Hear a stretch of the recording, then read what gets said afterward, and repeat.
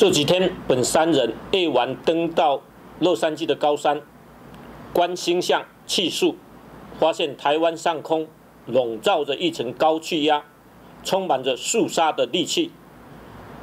就像《易经》所说的：“天地闭，天地疲，闲人云，风雨如晦，风雨交加，晦暗无光的时刻。”特为这件事情占一卦，祈求上苍。给予启示，得到的是风泽中湖，一到四爻都变变为天山遁。首先从卦象来看，中湖卦信风吹过对折，固然激起了阵阵的涟漪，但是风吹过了，水还是水。从外向来看，喊喊打打。杀杀，在民主的社会是不能够定人罪的。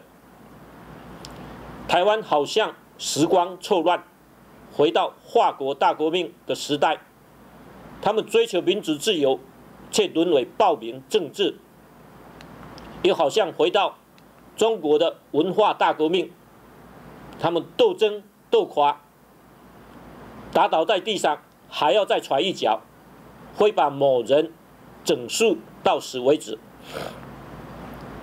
但当事者有什么罪，犯了什么证据，有什么证据，犯了什么罪，却没有人来问，没有人来过管。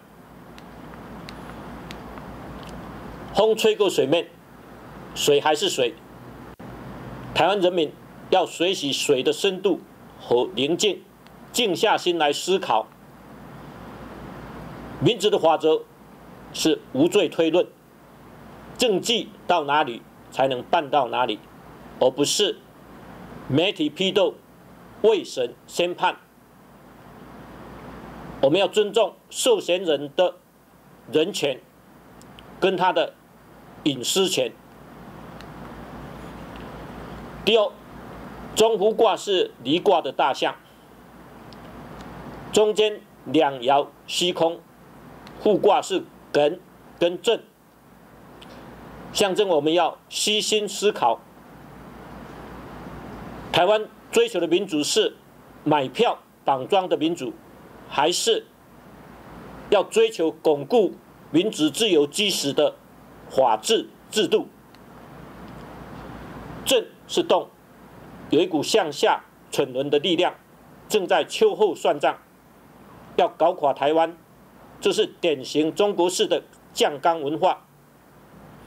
梗是指我们要号召换取台湾美好文化的力量，来制止这一暴民式的民族逆流。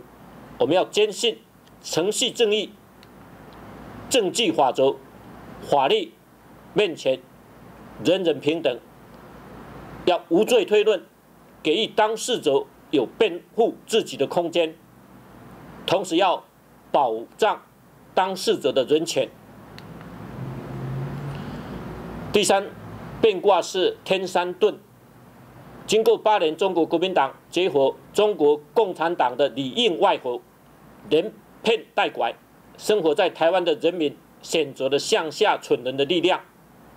好的能量、优良的风气正在逐渐离开台湾。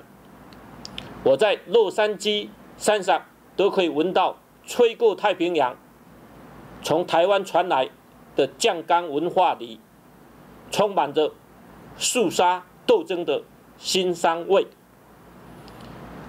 天山盾，再变爻下去就是天地皮，天地皮就是天地的气不交，天地的气不交，再这样子发展下去，台湾。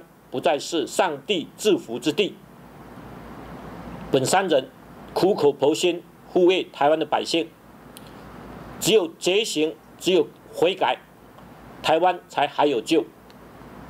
第四，四爻都变，这是卜卦很少的机遇机率，它给我很深的启示。就像易经的错卦，阴卦。